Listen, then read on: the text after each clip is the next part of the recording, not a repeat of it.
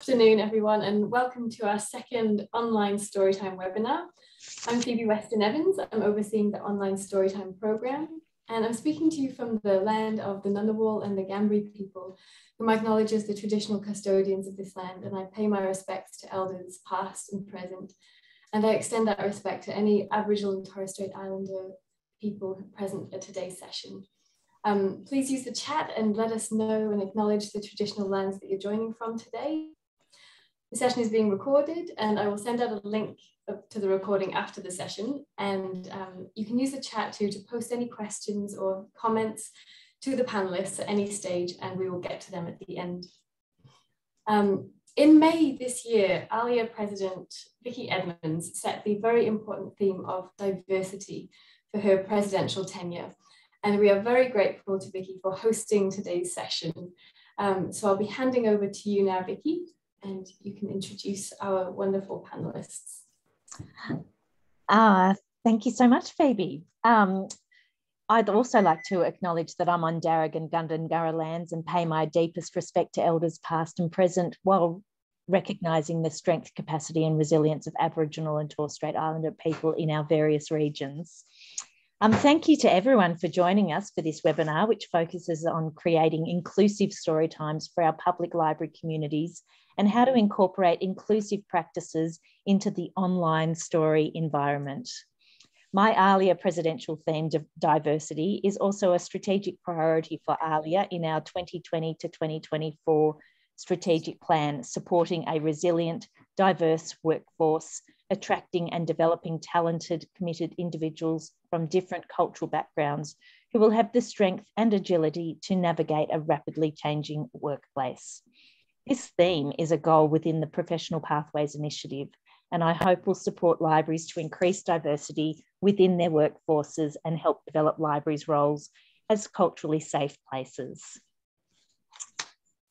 We are collectively growing our awareness of diversity and inclusion, and public libraries in particular are embracing diversity as a principle that guides programming, service provision, collections, management, and outreach. We are increasingly aware that creating inclusive environments and embracing diversity only makes us stronger and more resilient as individuals and as a society. In this webinar, we are very lucky to be joined by a number of experts who will share their experience and insights from different areas. They will be talking about raising awareness of diversity, the impact of early literacy, elements of sensitive story times, and universal design principles to support creating inclusive and accessible online story times. First of all, we have Nadia Ruttley from Brisbane City Council, who will introduce the presentation made by her team. Nadia is the coordinator reading at Brisbane City Council Library Service, where she has worked for over 12 years. Nadia oversees reading and early literacy programming, including First Five Forever, CBCA Book Week, and literary events across the 33 libraries in the Council's library service. Secondly, we have Kylie Carlson from Yarra Libraries in Melbourne. Kylie is a senior coordinator, community engagement and partnerships at Yarra Libraries and has a keen interest in inclusive programming and services. Kylie introduced sensitive story times, inclusive story times, and sensitive Santa sessions to Yarra Plenty and Yarra Libraries, and has also trained another library services in facilitating these programs. She and her team have worked tirelessly through the Melbourne lockdowns to bring books, food, internet connection, and all kinds of support and resources to people in need. She is a Libraries Change Lives advocate and is passionate about sharing the difference, the difference that libraries make to people's lives each and every day. And then lastly, we will hear from Jo Kaeding. Jo splits her time between the University of South Australia, where she lectures in the Master of Information Management, and Adelaide Hills Council, where she is programs team leader and children's librarian. She is interested in universal design and inclusive practice in public libraries for children with disabilities and their families. She received the South Australian Catherine Helen Spence Scholarship Public Libraries of South Australia Rod East Memorial Award and the Australian Library and Information Association Twilla Ann Jansen Her Award. So we are certainly in expert hands this, uh, yeah, this afternoon. So first of all, over to Nadia to introduce your team and their presentation. Thank you. Thank you. Um, so as um, I was introduced. I'm Nadia Ruttley. I'm the coordinator of re reading for Brisbane Libraries. Um, I'd like to begin by acknowledging the traditional custodians of the land on which I'm presenting from today, which is the Yagara and Turrbal people, and pay my respects to their elders, past and present. I extend that respect to the Aboriginal and Torres Strait Islander peoples here today and look forward to learning together. Unfortunately, Andrea Hurley and Marleen Westerveld could not be here today, but they have pre recorded their session for you, and I have the joy of introducing them. To give you a very short background, in 2015, the state government of Queensland launched First Five Forever, which is a family literacy initiative coordinated by the State Library of Queensland and delivered in partnership with local government when we received this funding here at Brisbane Libraries, we were able to double our early literacy early literacy sessions of baby books and rhymes, toddler time and story time across our 33 libraries, which um, pre-COVID was at, about 225 per week that we did. Um, but it also gave us some space to investigate other ways of improving our offering in the family literacy environment. An opportunity came up in 2015 to work with a small team at Griffith University on a project that focused on early literacy for children on the autism spectrum and their families. Andrea Hurley, our first Five Forever coordinator here at Brisbane Libraries, worked very closely with Marleen Westerveld, a senior lecturer in speech pathology at Griffith Uni, and her team over five or so years. And you'll see some of their findings here today in the presentation. Out of this project, we've been able to, to develop a fantastic training package that is free for anyone who is interested. You'll see more details about this at the end of their presentation. So I hope you find it really helpful and please get in touch with us if you have any questions. Thank you. Okay, and I'll start sharing their presentation.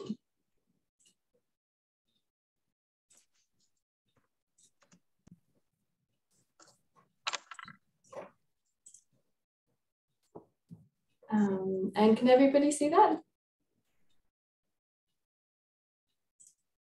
Yep. Welcome. My name is Marleen Westerveld, and I'm an associate professor in speech pathology at Griffith University.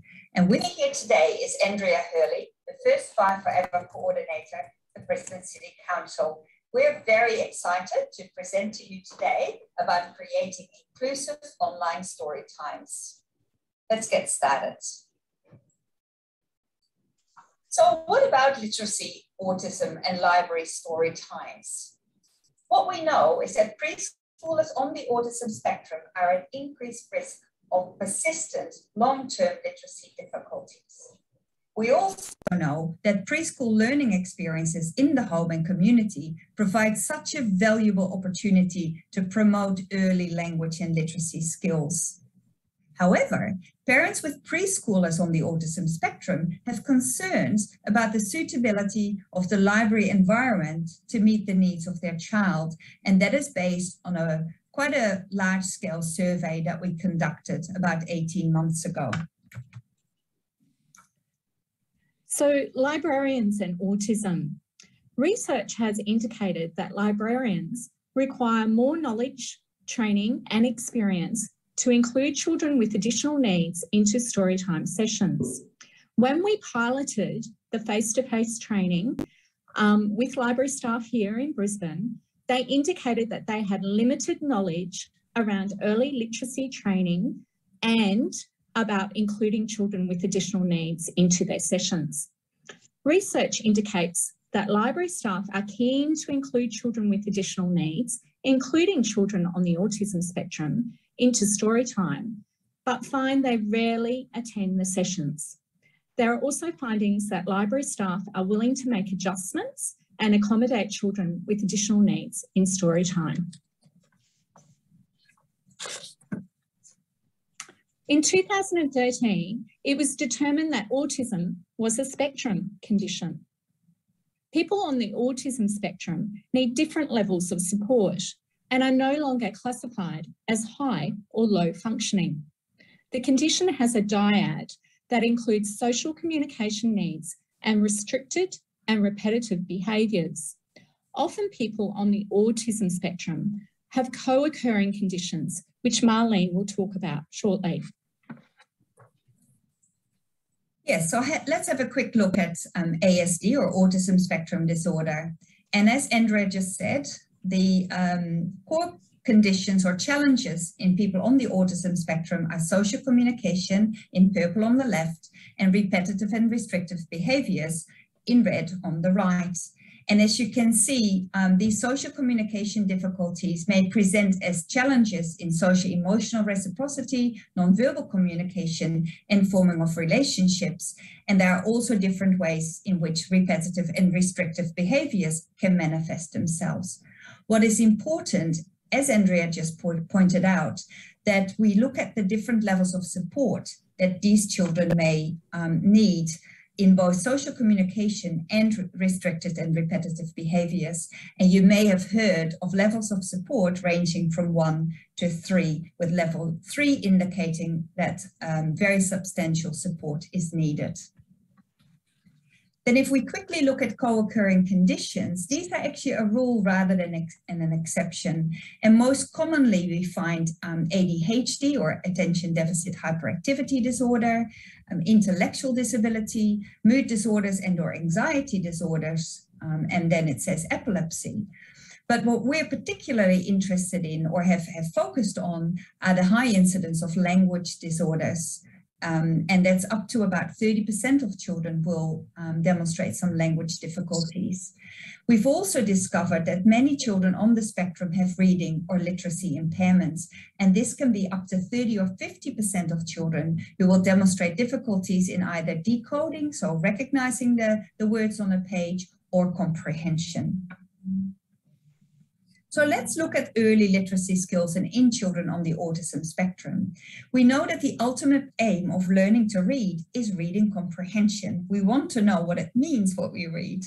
And um, so for that to occur, we need good word recognition, we need to decode the words on a page, and we need good oral language comprehension to really understand what these written words mean. We know that children develop their literacy foundation skills from birth. What we know about children on the spectrum is that they often show strengths in letter knowledge. So they may know all the letters of the alphabet, but not always. We also know that really often they show challenges in comprehension. So some of these children may be super readers, super decoders, but may have real difficulties understanding what all the words they're reading beautifully actually mean which leads us to let's have a quick look at autism friendly evidence based practices that we can utilize in everyday life um, to help these children learn or access learning. So the first one is antecedent based interventions. So the goal of these types of interventions is to identify factors that are reinforcing certain interfering behaviors. So for example, if we conduct a story time session, we may find that the child starts screaming.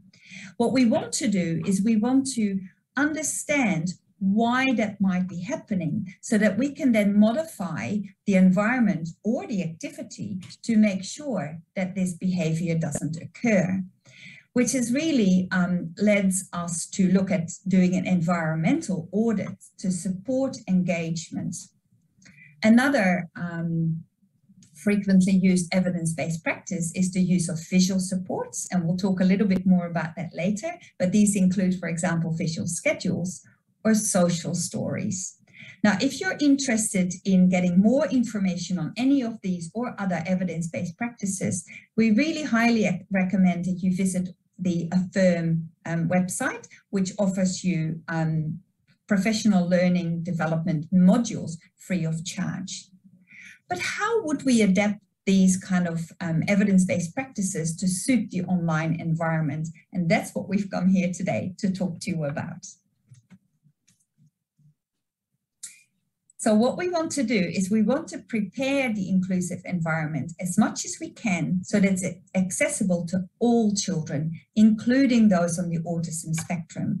And that's been such a wonderful um, bit of feedback that we've received and that librarians told us. They said, oh, actually, our sessions are great for all kids, including kids who have English as a second language or children with language disorders or everyone really who attends our storytime sessions.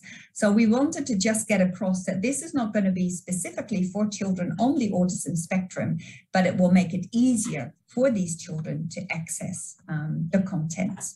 So we want to make sure it's evidence-based we want to incorporate some of these antecedent-based interventions, and Andrea will show you um, examples of an environmental audit. We want to include visual supports as much as we can, including a schedule and props. We also want to have a quick look at the choice of books, and that really then links in with the types of language difficulties or reading comprehension difficulties that we often find in slightly older children on the autism spectrum. Andrea. Thanks, Marleen.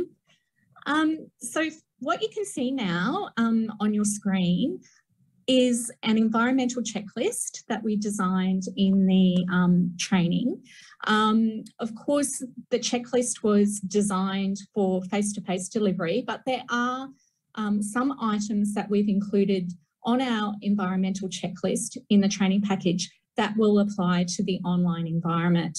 So you can see some of the examples that are there. So um, having a think about visuals, what does what does the um, the screen look like um, in the online environment? Are there busy areas behind the storyteller? Um, so are there lots of busy things happening there that could be distracting to children? Um, visual distractions. Um, are there any redundant visual displays? Um, is there a designated area where the visual supports can be placed during your delivery? So a lot of those things are relevant too for the online environment. Noise, you need to think about noise. Are there competing noises happening? Um, are there less obvious competing noises during the story time? Now you might have noticed my lights have gone off in my room here. so you've probably seen me in the dark. So that can be a visual distraction as well. Thanks, Marleen.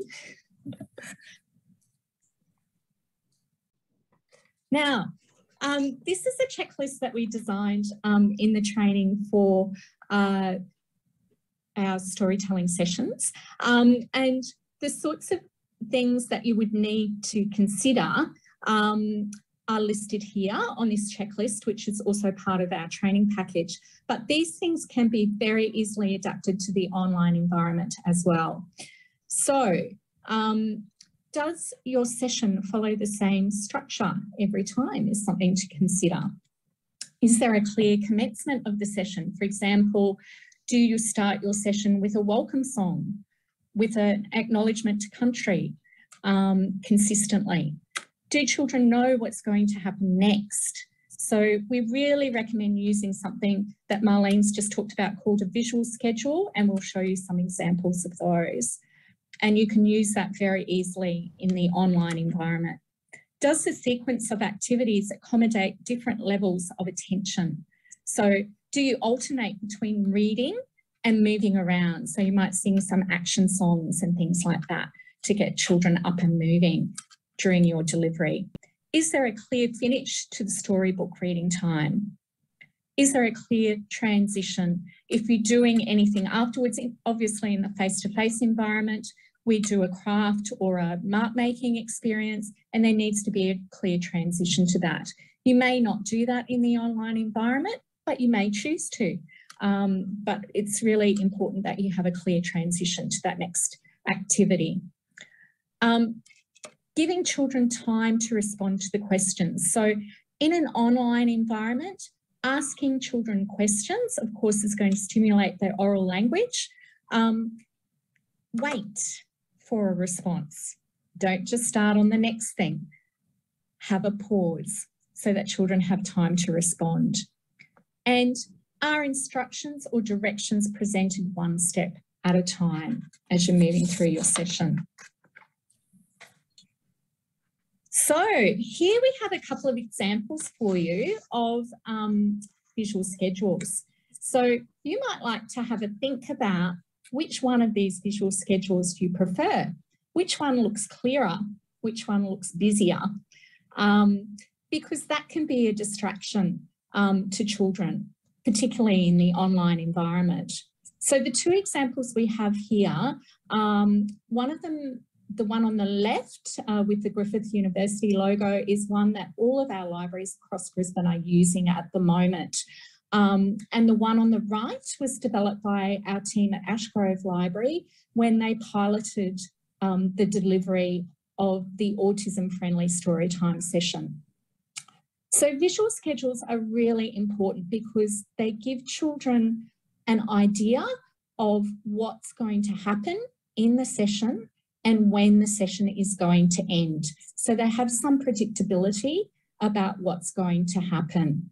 Um, and this can help children to understand how long they're expected to be sitting in the story time session. And that's, of course, very important in the online environment as well.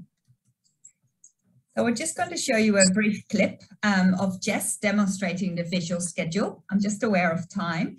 Um, and um, look at this lovely background. There's these people in the library um, presented. It's lovely and clear, not a lot of distractions. So let's have a look at Jess. Hi everyone, let's look at what we're going to do today. Let's look at our pictures. We're going to start with our hello song. Next, we're going to do children's acknowledgement of country. Then we're going to do our song of open shut them. Then our other song of happy and you know it.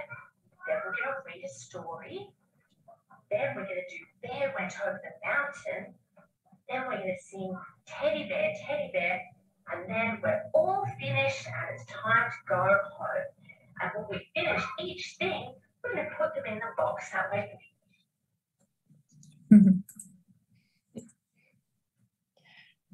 so here we've got some examples of some visual supports that staff in our in our library had used um, when they were piloting um, autism friendly storytime session. So you can see there the three little pigs, um, some beautiful visuals for children to help retell the story after the story had been shared with them.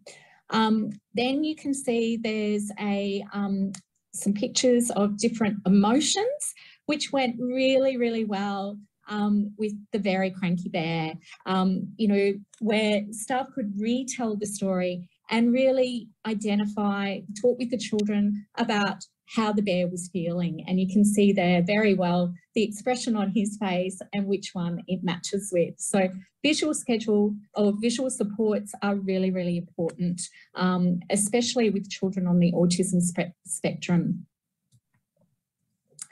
We also have um, a number of bookmarks that we design for parents to take home after story time session. Um, and you'll find these bookmarks in the training that we have developed, um, which we will tell you about how you can access that a little bit later on.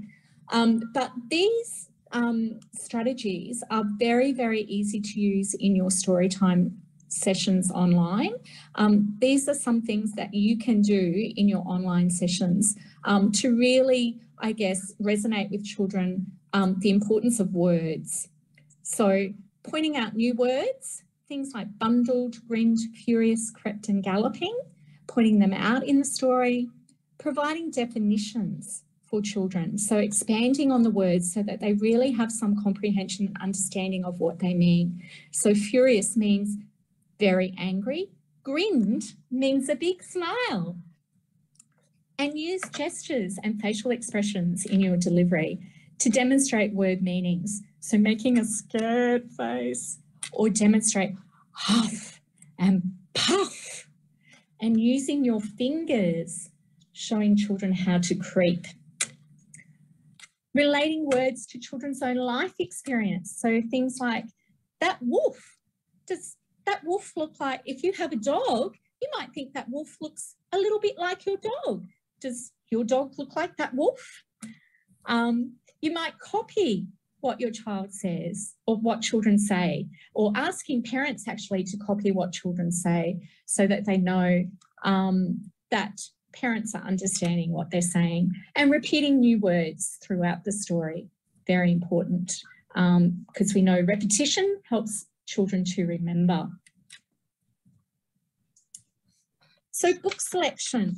So what types of books um, are most suitable for children on the autism spectrum? Well, we know that narrative stories really help children to comprehend behaviours in the story and why it's occurring. So you'll see there um, what's in a narrative structure. In a narrative story structure, the elements that are in that story are the characters, the setting. There's usually a problem, a plan to resolve the problem, actions to resolve the problem, the resolution of the problem, and an ending. That's right. And we used um, a story grammar map, we call that, or a story structure map like that with some of the um, slightly older children, just to refer back to like, oh, who were the characters in this story? Or, oh, where were they when the story started? So, um, yeah.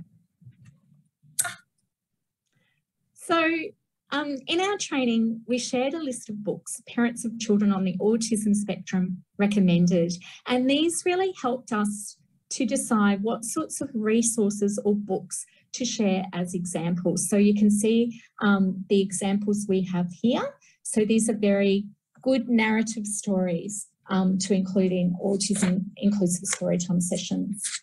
And I've also put a link up here. It's a little um, plug for a speech pathologist. Again, it's a free um, site where she regularly puts up other books that um, adhere to a really sort of nice story structure and it's called Books True Narrative Structure. So you may be interested in just having a quick look at that. That brings us to the end. Please have a look at the free training we have developed to support librarians with including children on the autism spectrum into story times. We piloted this first and then created an online version. You can access this training by scanning the barcode if you're quick, or by visiting my website where we have made it available for now.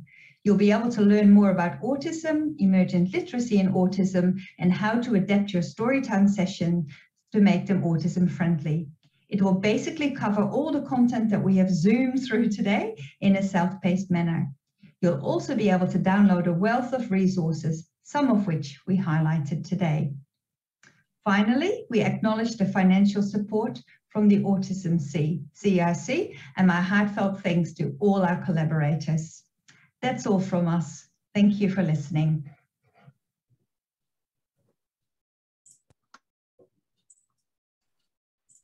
Well, thank you, Nadia. That was so interesting. I've just got so many takeaways from that.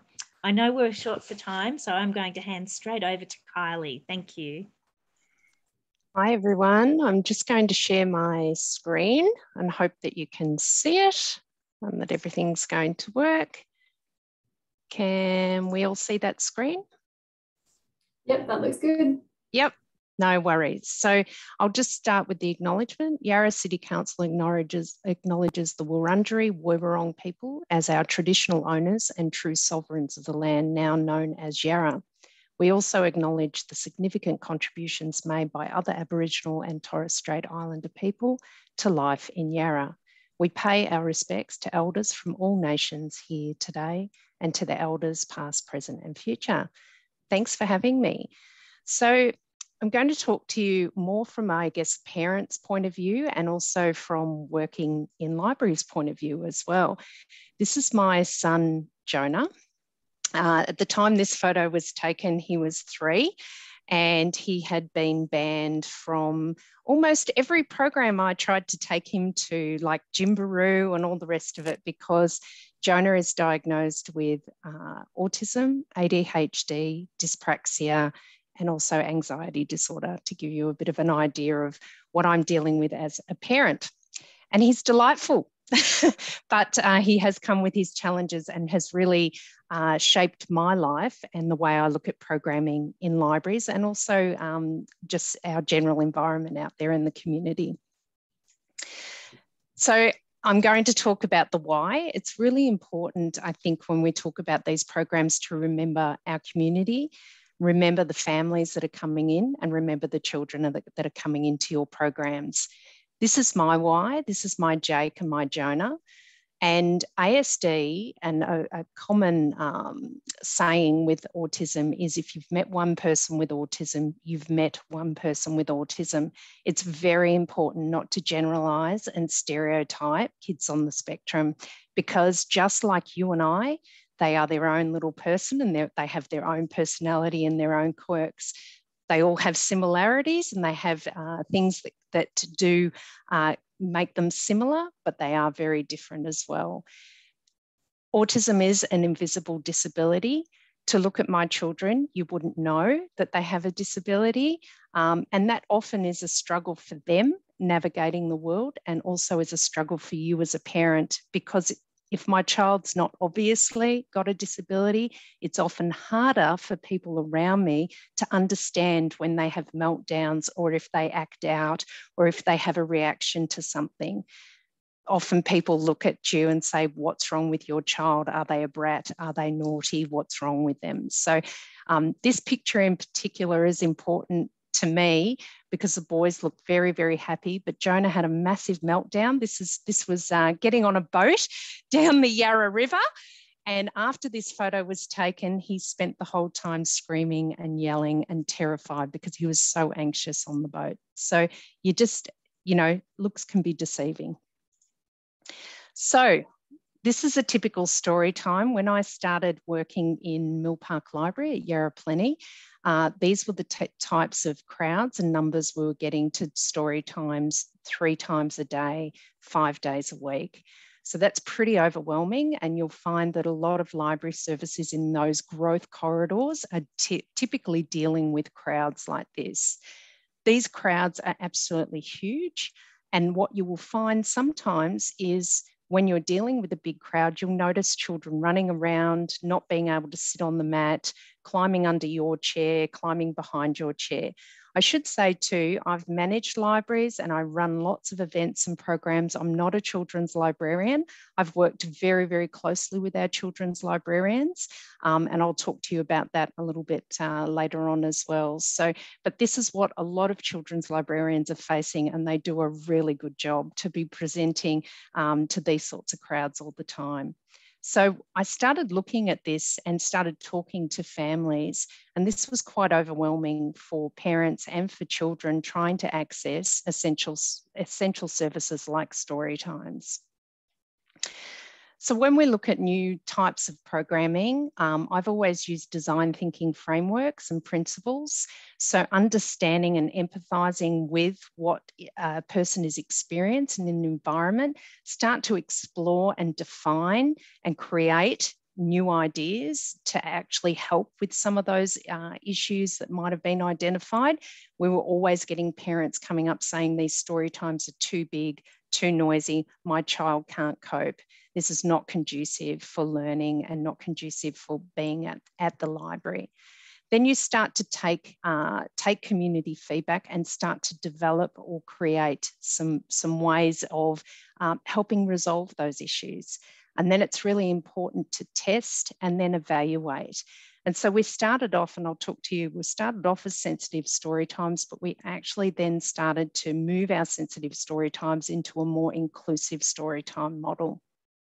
So some of the feedback that we got was a lot of parents felt that their diagnosis had left them very isolated. I can really relate to this. I had the children that couldn't, uh, with dyspraxia, my kids can't kick footballs, they can't coordinate. It took them many years to later on in life to be able to even ride a bike. So if you imagine navigating uh, school with, with two boys when people typically expect them to play football or basketball or, you know, run around the playground. That was not my children. So often you do feel isolated because a lot of social groups and gatherings happen in places that are not conducive for your children. Uh, there's a lot of stigma around ASD, and a lot of parents don't like to die, like uh, tell people that their children have a diagnosis because they're scared of what people will think. So this is the sort of stories that we were starting to get. I was starting to approach families with children that were actually having tantrums or finding the library environment too hard. And these were the sort of stories we were getting. Obviously, uh, going through early intervention programs with both of my boys with their diagnosis, you work very closely with others, mothers groups, and you work with experts in the field. And as a parent, you often become a bit of an expert yourself. So how do we create new experiences and approaches to your library programming? It's really about consulting with your community and finding out what's best for them, talking to your local experts as well what we introduced at uh, Yarra Plenty, and then it's uh, continued in Yarra Library Services, where I am now, is we created sensitive story times or quiet story times. We, we set those story times at different times of the day. We consulted with the community. We made them in the afternoon in quieter rooms and more controlled environments. So looking at the environment and making it a lot more predictable, calmer and quieter for your families. Um, I won't share the videos, but we um, Phoebe is going to share all the links. We've actually got a whole story about how sensitive story times, times came together and also working with our peak body Amaze in Victoria. Um, and we've also got links to online um, training that we've developed with them as well that is all free for you. So sensitive versus inclusive, I think this is going back to that design thinking model. As we continued with sensitive story time, I think what's really important is often the children's librarians got frustrated because it doesn't attract a big crowd. They were used to these big crowds and then all of a sudden we went to sensitive story times and they were only having two or three children coming and they're like, my manager's not going to support this because I'm not getting the numbers. Sometimes we get very hung up on numbers. It's really important to understand that that's exactly what you want is smaller numbers, that more one-on-one uh, work with families. But what we have realized is sometimes, and this photo is significant because sometimes the children and the parents don't want a separate story time. They actually just want to assimilate and be with everybody else. So what we started to do was keep tweaking and working with our families. And what we would do is actually start them off in sensitive story time uh, environments in the hope that we could then build them up to actually be part of the normal story time sessions. Because this is what you want to do as a parent. You want your child to be able to exist in the world. You can't always have separate sessions for your child in ASD. The world doesn't work like that. You actually need to assimilate into the community and into your environments at school and everywhere else. So, what we would do is we'd do these special sessions with the real uh, aim and hope to get children to be able to go into our normal story time sessions with everybody else because you don't want to feel separate from everyone for the rest of your life as well. And I can, my children have uh, shared that and uh, I've obviously felt it as a parent as well. So what are the basics? Uh, we heard in the presentation before about these are PECS cards. This is what we use for schedule boards. It is the universal language for people with disabilities.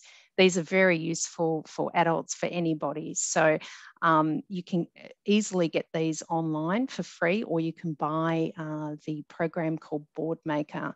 Um, most parents actually have access to this through their NDIS plans if, if they're aware their kids are on the spectrum, but you can access these very easily.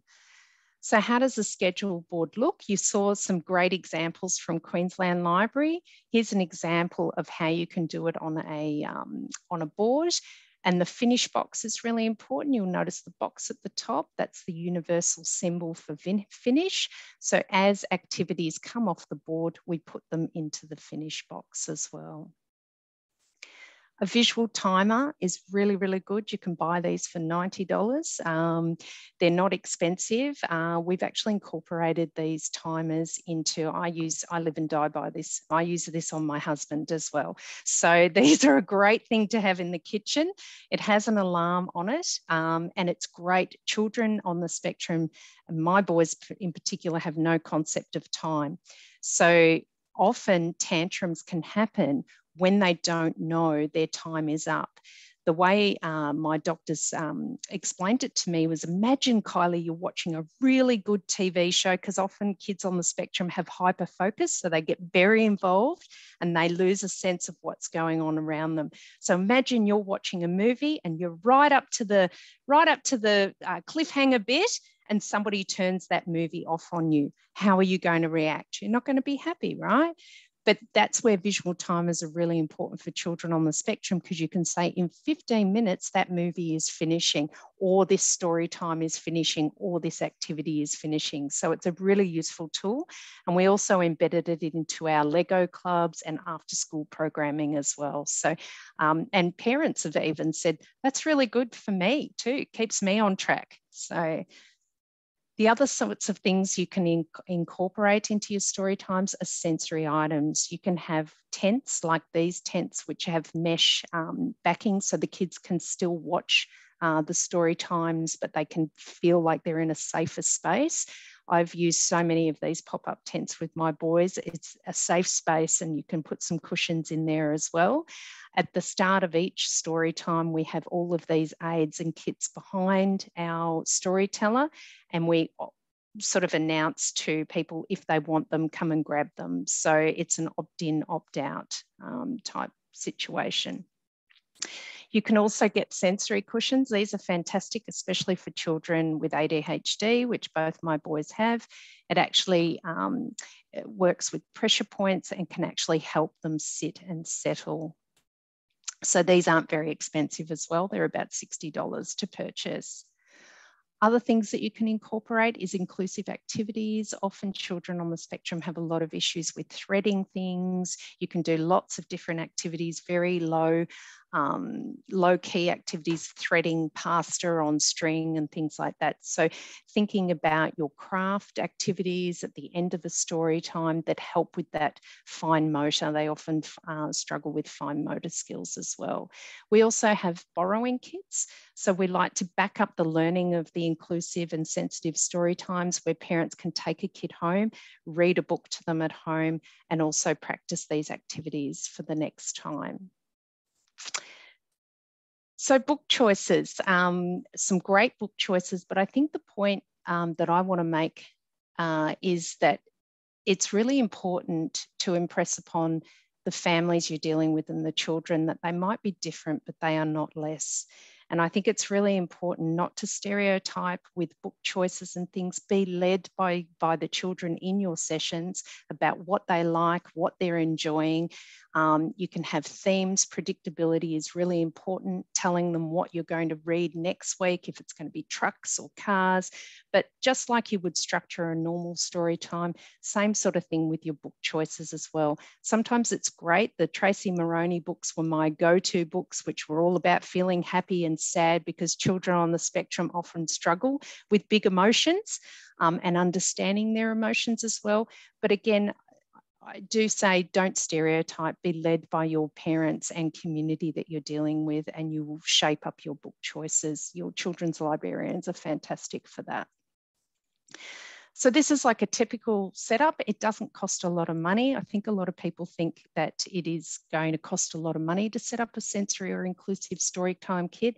We do our schedule boards at every story time, whether we have children on the spectrum or not. We have the aids there for people to use whether they're on the spectrum or not. So we just build these inclusive practices into our everyday story times. And I think that's that's the feedback we got from parents was they just wanted to be with everyone else and just have those little additional aids there for them if they needed it. And as mentioned in the previous um, presentation, it can help people uh, from CALD backgrounds, people that are experiencing deafness and all the rest of it. Social stories are really important.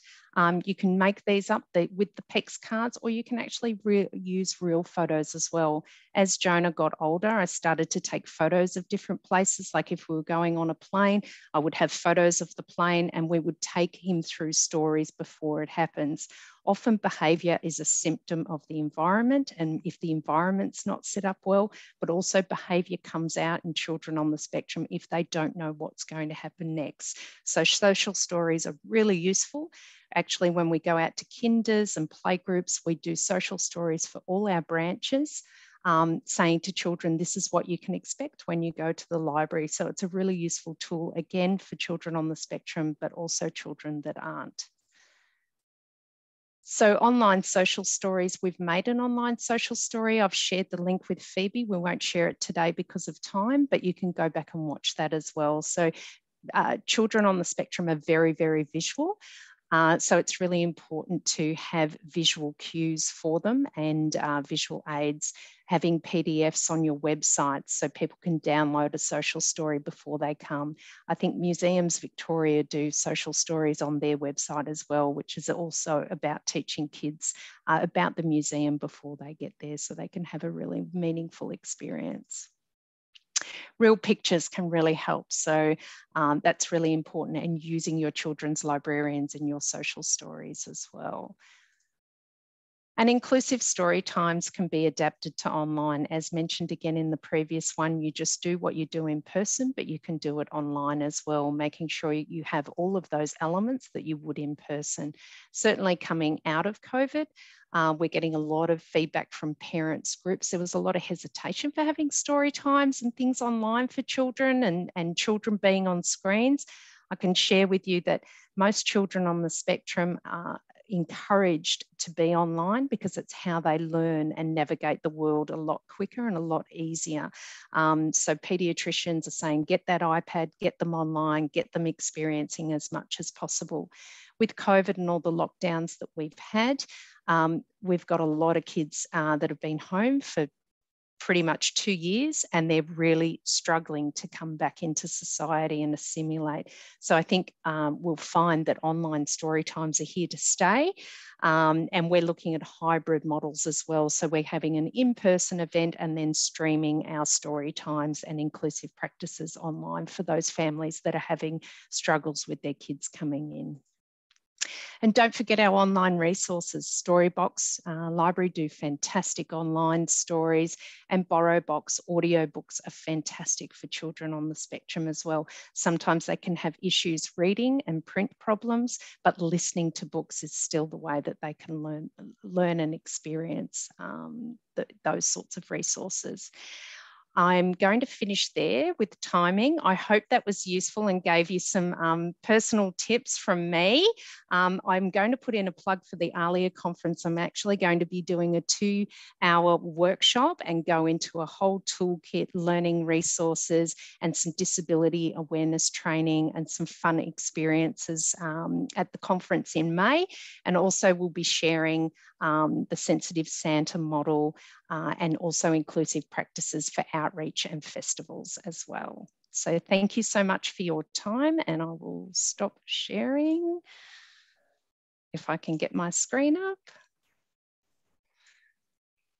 And here we go. You got it back now?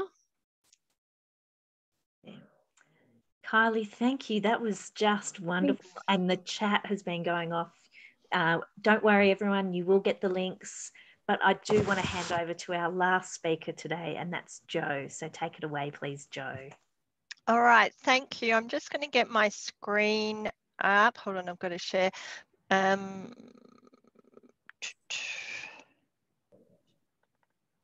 okay. Um, before I do, I just wanted to say, Kylie, thank you so much. Um, that was great, and it um, it just ties into so much of the research I've done in that space. Um, and everything in there is so beautiful. I, I used to, and I know I'm going to take up valuable time here, but I used to um, refer to um, and I still do, my um, sensitive story times as a bridge so I always saw it as a bridge for those children who need that opportunity to develop confidence, whatever, and then they move into the uh, more traditional story times. Um, and the number of families who have come back to me and said, that was it that was perfect and even children who used that as a bridge to actually uh, when they started school um, because just even sitting, we, we know we know that just for kids being able to sit is one of the core things that is required of them in a classroom. So um, yeah, so thank you and beautiful. Um, and it is actually a little bit of a segue for me to kind of now say, right, everything Kylie said is wonderful. So now let's have a look at some tips and tricks for trying to move that online. Um, and if we consider in many ways, I see the online story times as pretty much that social story time. So this is the opportunity for so many families to uh, expose their children to the um, in-person story times and whether that child has autism on the spectrum whether they're just a very shy child.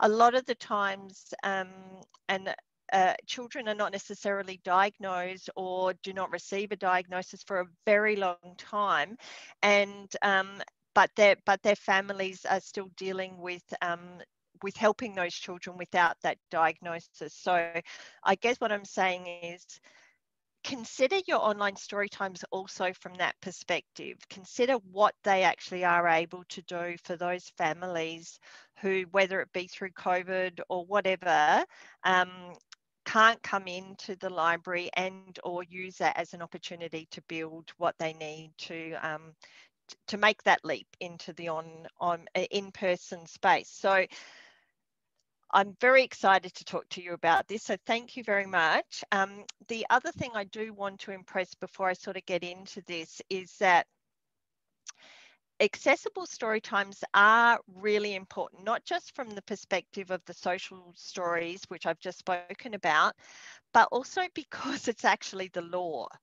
So once again, we get back to that perspective of um, the Disability Discrimination Act of 1992. Now that act, that law actually mandates that um, all of um, the services, the online services that organisations, businesses, etc., provide are accessible. So there is, in fact, uh, an act which covers that, and um, library services are included in that. So whatever organisation you are, whatever business you are, whatever you do, you have to provide your online services in an accessible format. Um, and if you don't, there is, you know, basically there is the potential that somebody could come and say, well, hold on, this is the law, you do actually need to provide this. So be aware of that. Um, and the Australian government actually recommend the use of what's called the Web Content Accessibility Guidelines. And I do have a link to that in my reference page at the end. So it's the Web Content Accessibility Guidelines, and the Australian government recommends that people use that. Okay, so I'm going to try and get through this um, where's my button? All right, so what is an accessible video or an accessible story time? It's um, one that everyone can watch and enjoy, including people with disabilities um, who may be unable to hear the audio or unable to see the image as well on the screen. So this means that the auditory experience of the video must give all of that essential information that that person will need um, to be able to um, enjoy it still. Similarly, um, if the um, just so just as the visual experience needs to provide everything that somebody who has a hearing impairment um, has. So and and the reality is that we actually often do a lot of this already in our story times when we're presenting them face to face. Because we pick up on the cues we pick up on who's having trouble understanding um, something in that story time. We pick up you know there are a lot more clues that we can pick up on in that sort of face to face experience. But um, in the online environment, we don't have that. So we have to be far more deliberate in our delivery and far more deliberate in making sure that we're providing our delivery in an, in an in as an accessible way as possible. So really um, being really deliberate and mindful of that because you would be surprised at what you do already when you're when you're dealing with that um, child in front of you. So you can achieve that by um, using captions, by using audio description, which is when you're describing what you are doing um, and what's in the book that you're reading, um, how you're doing things, um, by um, perhaps providing a transcript um, and making sure that you're using an accessible media platform. And I'm going to talk about that in a little bit. Um, and many of you or some of you might recall in an earlier presentation, I also talked about actually having a go at watching your online story time either without the sound and seeing how much you can um, follow and understand and or without the visuals and once again seeing how much you miss out on. So that gives you a really um, you know a good idea of what somebody who may be having difficulties in those areas um, experiences when they view your story times. So um, the categories of disability that I've listed on the screen there can have a significant impact on the individual's ability to access an online program. So for example, we've got visual, obviously we've, you know, we've got blindness, but we've also got color blindness. We've got low vision, we've got photosensitivity and tracking difficulties. Um, auditory, we've got um, hearing impairment. Um, and, we, and then we've got people who are sensitive to a range of different um, noises. So it's really that awareness of that. And I'll go into that in a little bit as well. But, you know, um, sensitive to a really high pitched noise or um, something like that mobility, um, such as fine motor skills or um, people who may have cerebral palsy or even arthritis.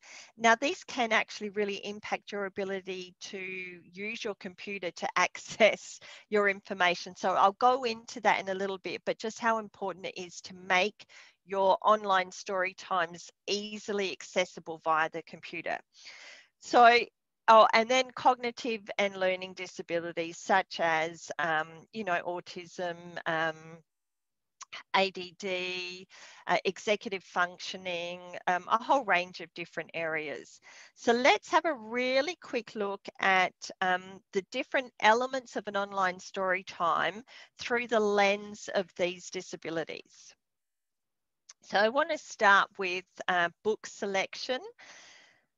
Diversity and I know Kylie touched a little bit about, upon this, um, stories written about and by people um, with disabilities. But these stories need to be positive, they need to be non ableist, destigmatizing. So look for books where the protagonist has a disability, but that disability is not the focus at all of the book.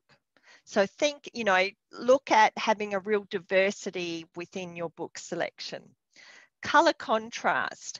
So people who have low vision often need high contrast that differentiate the text and the illustrations from the background of the book. Um, also, avoid using books where colour is the only way that you can identify something. So instead, um, use ones where there are both color and shape. So that way you could say, oh, look for the red triangle. So obviously if they're colorblind, they can look for the triangle shape and vice versa. So just that sort of awareness around that. Um, and, uh, you know, this contrast thing is one of the biggest bugbears I have particularly when I, I, look at flyers that are produced and websites. I mean, it's just ridiculous really be mindful of that contrast. And I guess a real classic example I want to give you is one of my daughters has a beautiful friend who has um, vision impairment. When she comes to our house, she cannot pick out our dog's face. So she can see the dog's head, but she can't differentiate between the dog's eyes, the dog's nose, um, and the dog's mouth because our dog is black it's all black. So if you have really muted colors there, um, it you know you're not going to see that color contrast, so you're not going to see things pop out at you. Um, one of the biggest problems people always do is they put white on something like grey or oh, anyway. Okay. Um, consider how the book will look on film. This is again really important. So glossy pages give a, a, you know give a significant glare on your screen. Some illustrations can actually appear quite blurry on the screen. So look for books which are vibrant, um, uh, have really clear illustrations and have that contrast. Um, are the illustrations and the size of the text large enough to actually share them on a screen? Consistent layout. So it's easy, you know, it's much easier for children to follow when the illustrations and the text are in the same places on the page. So the child's not sort of looking all around the page trying to work out, oh, where's the text going to be this time or where's the picture going to be this time. So it's that sort of consistency. Um, choose books, and this is another really useful one, choose books that allow for the use of props to help with that understanding of the content. Um, and you know, a lot of the times you might do that already face to face, but make an extra effort to do that in an online environment. Demonstrate it with props, retell the story with props, um, because as I said, um, that comprehension can be a lot harder in uh, that online environment. All right, so session content. So use multiple means of, for audience engagement. And that's where I was talking about with those props and the retelling of the story. So adapt songs and rhymes also that children and families with a wide range of motor abilities can participate in or um, suggest other ways. So for example, instead of just saying stamp your feet, you might be able to say stamp your feet or nod your head or blink your eyes. So think of a range of ways that a child can participate so that you're covering um, hopefully, you know, as many ways as possible. Use different voices for the characters so that the children can help under, um, so you help the children understand who's speaking in the story use um, tactile elements and bring those into your story time. Make sure that you provide a list of um, supplies that the family might need and make sure they're typical household items. So scarves, maybe pots and pans, um, a colander or something. So, you know, think about what's tactile that you need for that story, provide that little list and make sure it's, you know, the families can find it in the house. Structure and organisation, everyone has said use that visual story time schedule, do that. Um, and I think it was, um, oh, uh, I think it was Marleen maybe who said this, make sure you use the same format each session, start with the same opening and the same closing, and don't change versions of songs. Use the same version every time. Um, otherwise, it creates confusion. We're all, this is all coming back to that predictability. Let your audience know what's going to happen, exactly when it's going to happen, um, and, and talk them through that. We're going to read this story and then we're going to sing our song. Um, forward you know plan all of those transitions for your for your listeners so that they really can um, have that have that time to um, process that. Okay. Uh, presentation. So again, think about visuals. This again is be mindful of strobing, mindful of visual disturbances. Um, in fact, what people um, may not be aware of is quite often when you have one of those fake um, background screens, they can actually create a visual disturbance for people. And quite often they have this sort of fuzziness around it or something like that. So just be really mindful uh, if you are going to use a background, um, the fake backgrounds, have a good look. Does that create any problems on your screen? Um, use solid backgrounds that contrast with your clothes. Avoid um, wearing busy patterns, um, things like that so just you know trying to really create that sort of calm less busy um, environment. Movement and i'm probably the worst at this avoid um, flashing or loud content or sudden movements. Um, so stay in one spot as much as you can. Slow down your motion so that they're easier to track. And I know I do have my hands going all over the place. Um, but really, you're trying to reduce that busy, rushed feeling. Um, so that when it's live streamed, it, it, it's not competing with what what story you're reading or whatever. So cut out all those other com, you know competitive things around the edges, like background noise. Remove background noise as much as possible. Um, I think Kylie or somebody mentioned this one as well, processing time. Slow down your reading. And I know I'm going as fast as I possibly can right here. So I'm breaking all of my own rules. Pause and build in at least a seven to 10 second time. Give give your audience that wait time. It's actually much harder doing that in an online environment. We're much better at doing it face to face because we we can just see the face of the our audience thinking.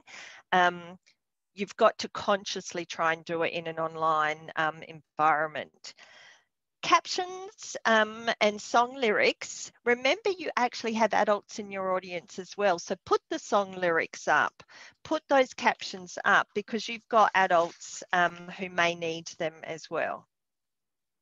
Okay, technology. Um, the sort of technology you need is also really important. So internet access, and I think I spoke about this before, is your program accessed through your library web page? Really simplify the paths to accessing that program. Reduce the number of clicks. Remember the three click rule. Honestly, if it's more than three clicks, gone, forget it. If you have to go through so many gateways, people are not going to do it and it's going to create confusion. Um, be aware that if your user, and mainly here I'm talking about your adults, but if they accidentally get kicked out of the program or exit the program or their child accidentally exits the program, how easy is it going to be for them to get back in? And that comes back to where I was talking about before, where you have got um, uh, family members who may also have arthritis, who may have cerebral palsy, who may themselves have um, fine motor skill difficulties. So um, whilst it, whilst I'm saying, you know, it's an inclusive and accessible story time for children, remember the families, you're, catering for that whole family and the um, think about the grandmas who may actually, grandmas and grandpas who may have that child for that morning. Damn, you better make it easy to access because grandma's not going to be able to go through five hoops to get there. Um, accessible platforms, this is pretty much what I was just chatting about, but make sure that your platform has um, allows for keyboard access so they don't just have to use a mouse. Make sure they can use their keyboard to get in and do different things in there. Make sure that the video doesn't automatically play. Make sure the user has the power to pace their own experience to start and stop the story time as they want to.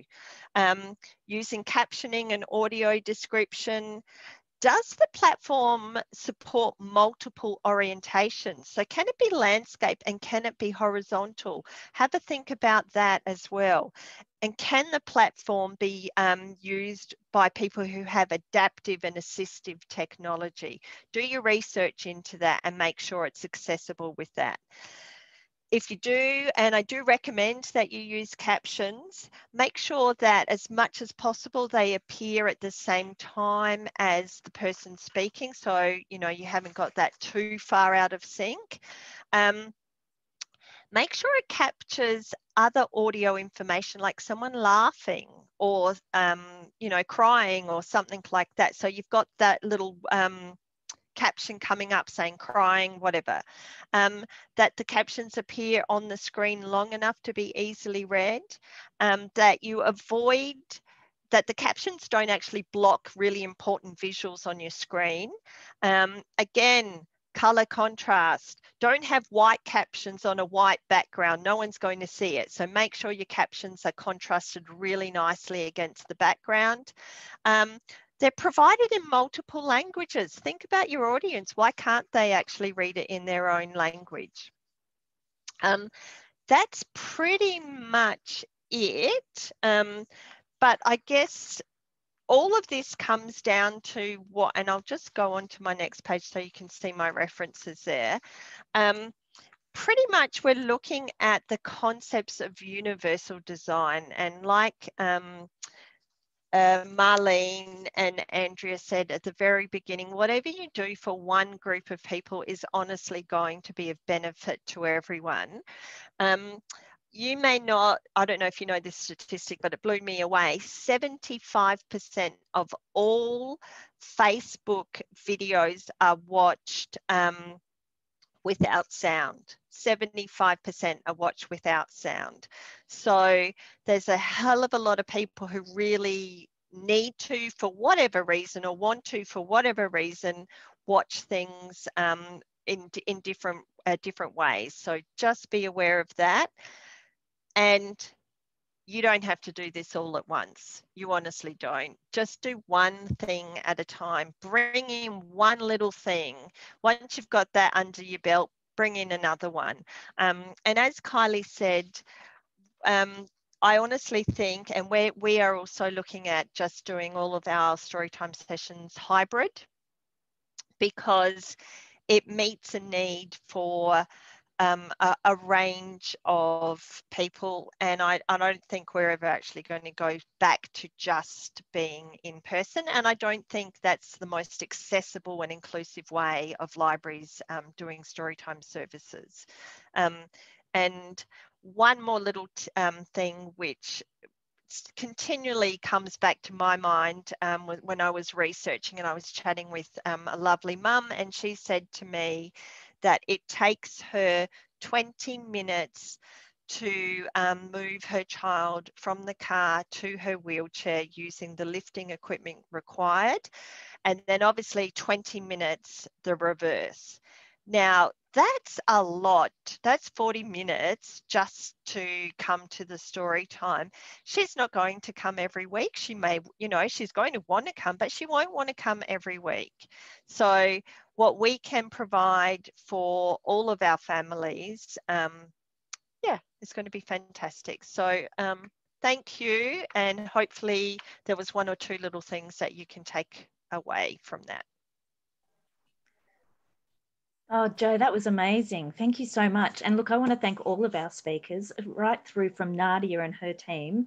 Um, the acknowledgement of country. I know that my library has just developed an age appropriate um, acknowledgement of country. I'm happy to share that with you. So just ask through Phoebe.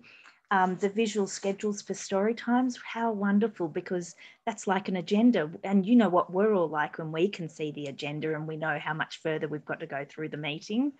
Um, and Kylie, thank you for sharing your personal story and the why, um, and also the visual timer. That was fantastic. And I know that there was a question about the visual timer. So I want to thank the ALIA staff for answering a lot of the questions on the fly. So that's all done really well. And Jo, just making us aware of the Disability Disability Discrimination Act. Of course, that is something that we can fall back on and uh, justify why we need to be doing this really amazing work. And you know the web content accessibility, accessibility guidelines. I'll definitely be pointing my organisation that way as well. I have to say, sadly, we don't have time for questions. If you do have questions, please email them through to Phoebe, who will ask the panelists, and they'll be sent out to all of you afterwards. A link to this recording will also be sent out to you, and I'm going to hand back to Phoebe. Thanks very much. Thank you, Vicki. Um, that's a really, really rich session and just what I was hoping to bring together. Um, there's been lots of theory and lots of content, as well as some really practical tools and ideas that um, hopefully you'll be able to um, bring into the online storytime community as you're making your recordings. As Jo said, just take a little and then a little more. Um, so thank you once again, Nadia, Kylie, Jo, and Vicki for talking to us today, and to Andrea and Marleen for their presentation and to all of you for sharing your experience and expertise. Um, and thank you for everyone who could join us today. Um, I'll be sending all registrants the recording link later today or tomorrow, and We'll be back for a third uh, webinar in February 2022, the focus of which will again be under the umbrella of the diversity theme, and it will be about creating online story times with Auslan interpretation. So of course, if you have any questions or comments, do get in touch with me at phoebe.weston-evans at alia.org.au. And until the next time, thanks again and enjoy the rest of your day.